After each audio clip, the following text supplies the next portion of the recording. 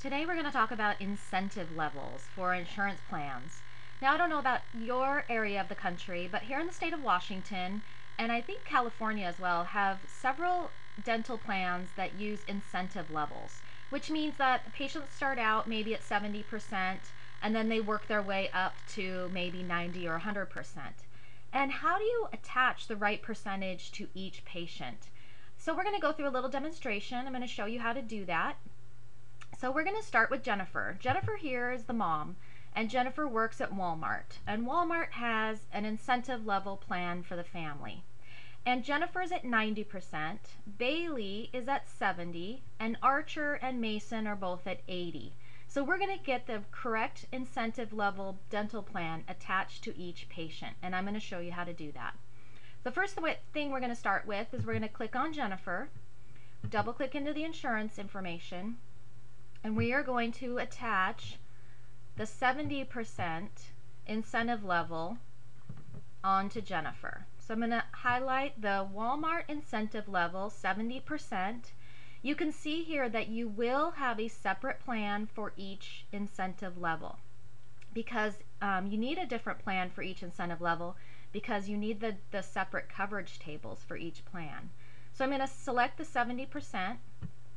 I'm going to attach that to Jennifer. See whatever her group number or her ID number is here.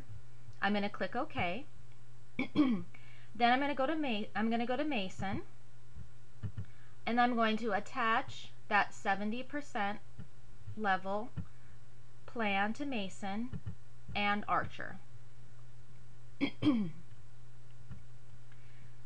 now I'm going to go back to Jennifer. I'm going to double click in here. I'm going to click into this.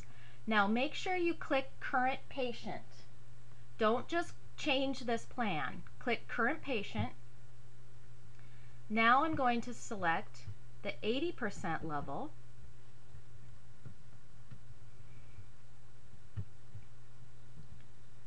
Click OK. I'm going to attach that to Bailey.